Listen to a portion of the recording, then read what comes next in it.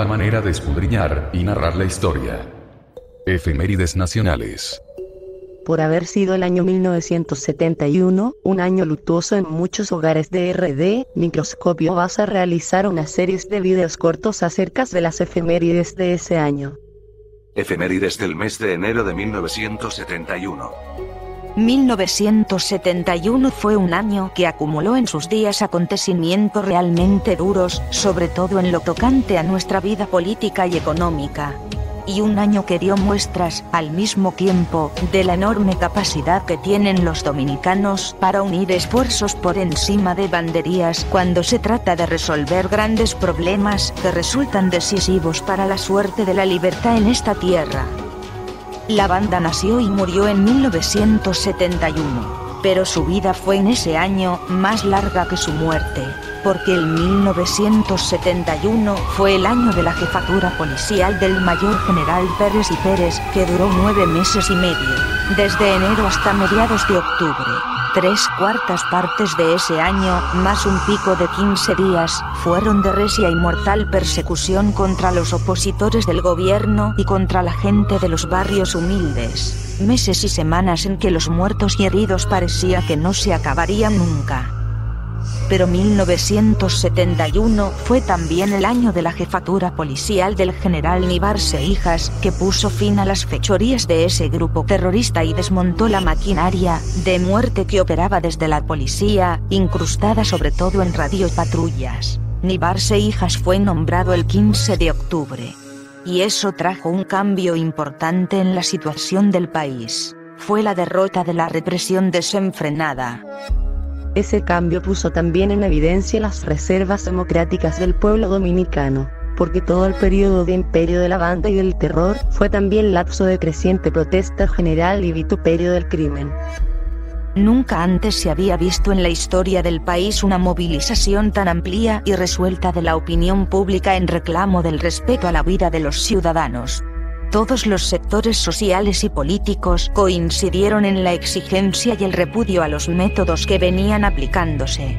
Y eso desencadenó en el exterior un movimiento que en Europa, Asia y América denunció lo que aquí estaba pasando y empoderó extraordinariamente la fuerza acumulada en los reclamos dominicanos.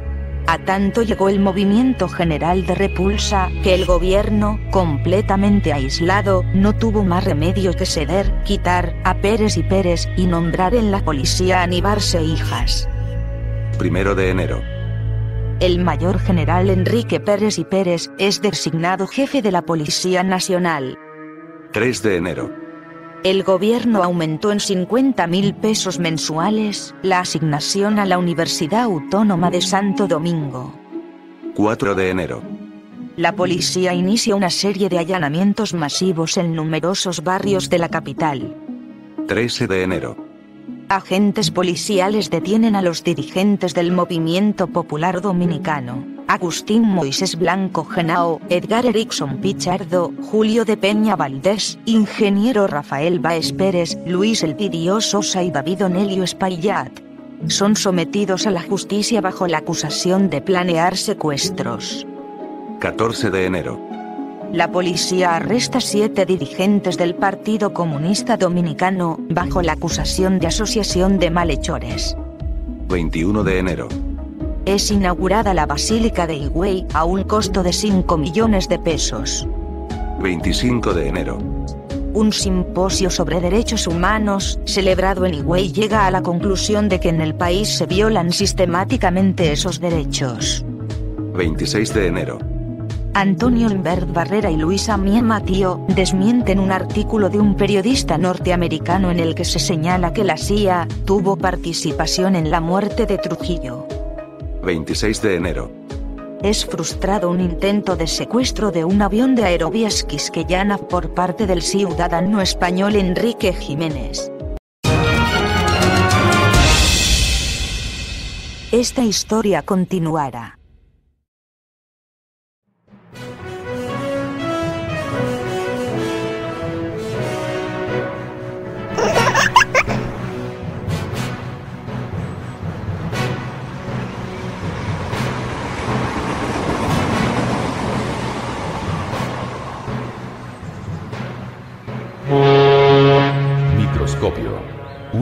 Manera de escudriñar y narrar la historia.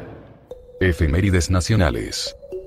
Por haber sido el año 1971, un año luctuoso en muchos hogares de RD, Microscopio vas a realizar una serie de videos cortos acerca de las efemérides de ese año. Efemérides del mes de febrero de 1971. 2 de febrero. Son inauguradas las escuelas radiofónicas para alfabetización de adultos. 4 de febrero.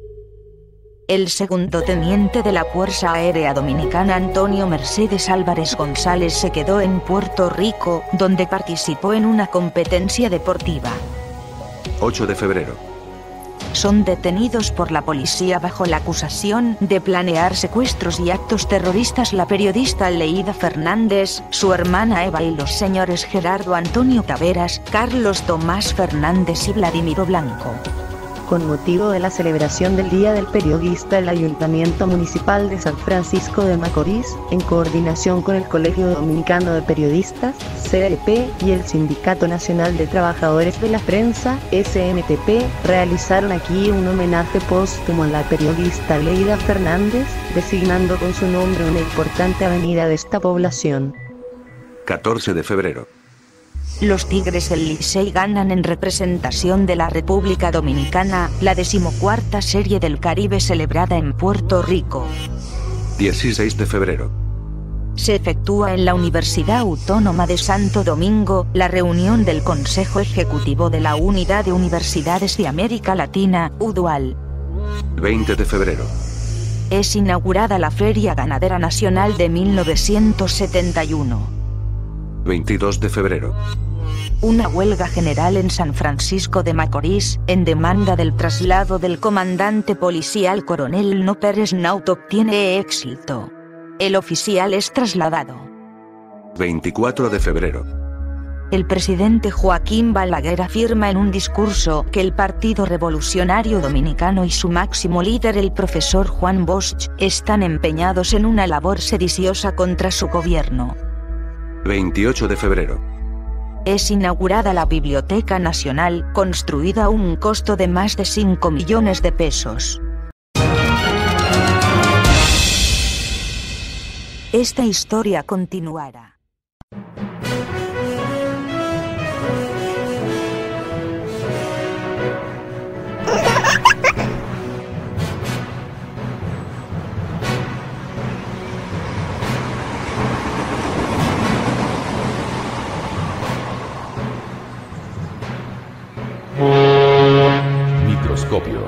Una nueva manera de escudriñar y narrar la historia.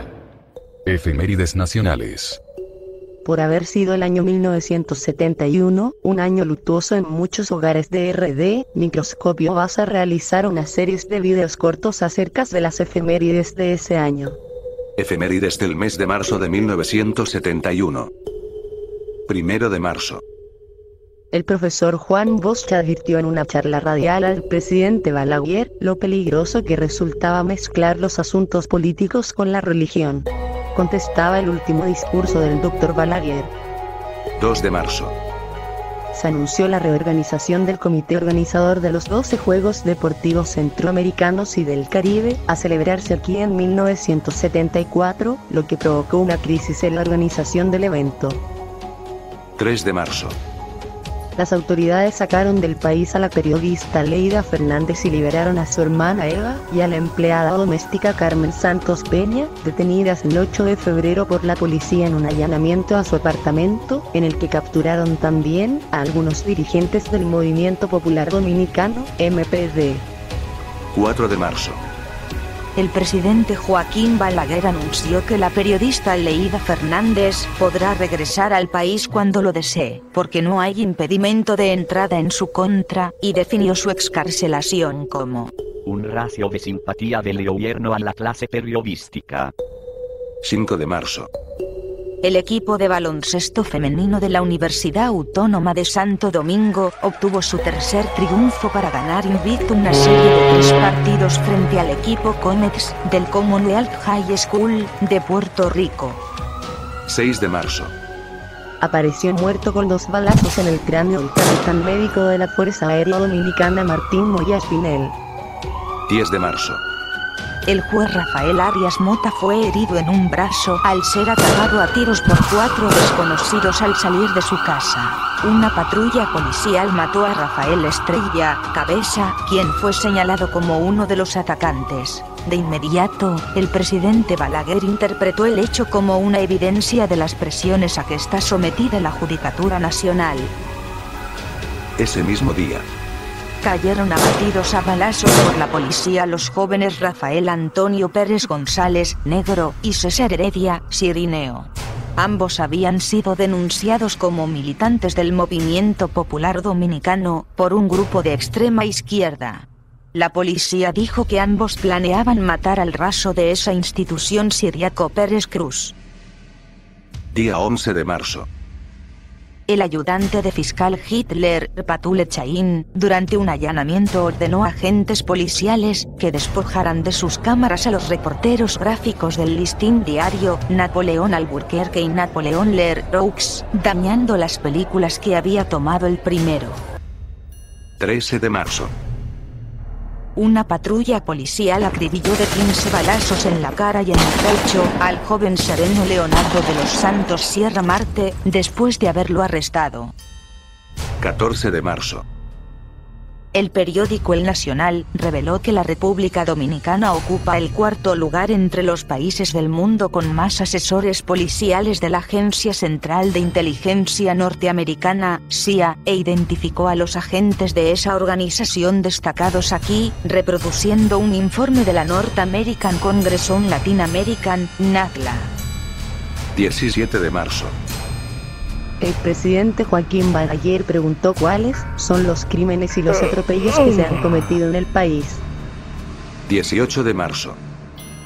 La policía cercó y tiroteó el campus de la Universidad Autónoma de Santo Domingo y el jefe de la institución mayor general Enrique Pérez y Pérez amenazó al rector Rafael Case Acta con ordenar la ocupación armada del recinto si los estudiantes continuaban obstaculizando el tránsito con sus movilizaciones. Cientos de estudiantes ocuparon el edificio de la Rectoría de la Universidad Católica Madre y Maestra de Santiago en protesta por la suspensión de dos alumnos que participaban en la organización de una asociación estudiantil en ese centro académico. Los estudiantes secundarios de Santiago se manifestaron en respaldo a los universitarios y la policía detuvo a varias personas. 19 de marzo.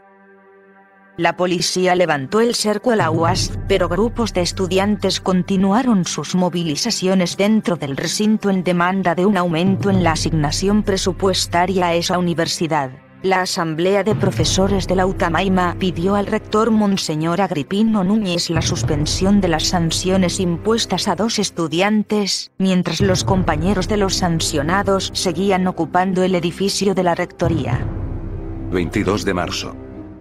La policía cercó el campus de la Utamaima y el rector Monseñor Agripino Núñez declaró que esa medida fue tomada espontáneamente por la institución policial y no a instancias de las autoridades universitarias. El presidente Joaquín Balaguer, en un discurso para inaugurar una reunión de la Comisión de Libertad de Prensa de la Sociedad Interamericana de Prensa, criticó a los diarios norteamericanos por la preferencia que, según él, dan a los estallidos de violencia en desmedro de la imagen de los pueblos iberoamericanos.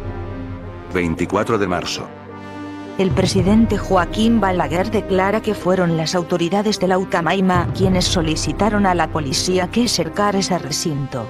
Mientras, el rector Monseñor Agripino Núñez anunciaba por medio de un vocero de la universidad que hacía esfuerzos extraordinarios por lograr que fuera levantado el sitio.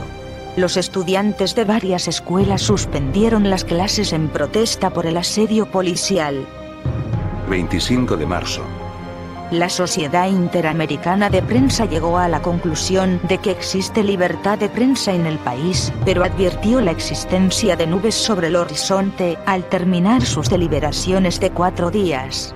La CIP, además, clamó ante el gobierno por el respeto al libre ejercicio del periodismo. El presidente Joaquín Balaguer prometió a la CIP entregar las máquinas que el gobierno retuvo por años al periódico La Voz del Pueblo, que no ha salido en su segunda etapa por esa retención. El cadáver de un hombre no identificado fue encontrado en el ingenio San Luis. Se comprobó que recibió varios balazos y que le pasaron un vehículo por encima. La policía detuvo en San Francisco de Macorís al director y a cuatro profesores del Centro Universitario Regional del Nordeste, liberándolos más tarde.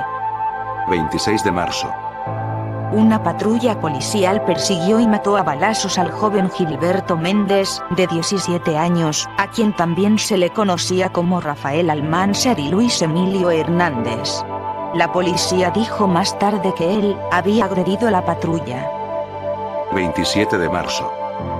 La policía anunció que tiene detenido, por participar en un atraco, al radiotécnico Rafael Antonio Pérez González, negro. Sin embargo, este fue acribillado a balazos por fuerzas policiales el día 10 junto a César Heredia, Sirino. Ese mismo día. Fue baleado en el pecho el joven Santiago Manuel Hernández, Manga. La víctima, grave, culpó del hecho a dos policías que lo perseguían desde hacía varios días. También en ese día, la policía arrestó y luego libertó, ocho horas después, el ex coronel policial Gerardo Marte Hernández, uno de los lugartenientes del líder militar constitucionalista, coronel Francisco Alberto Camaño. Día 30 de marzo. Otto Corniel, ministro consejero de la Cancillería, acompañado de un pistolero, agredió al reportero gráfico del Nacional Valentín Pérez Terrero, causándole fracturas en la cara que obligaron a operarlo. Corniel, hijo de la senadora por el Distrito Nacional Carmen Mendoza de Corniel, cometió el hecho porque Pérez Terrero trató de fotografiarlo mientras él amenazaba con disparar con una carabina M1, arma de guerra, contra estudiantes del Liceo Unión Panamericana. 31 de marzo. El alférez de navío pensionado Gregorio Suriel Moya fue baleado por desconocidos que lo asaltaron para robarle más de 5 mil pesos. Un balazo en la parte superior izquierda de la mandíbula lo mantenía en estado de gravedad.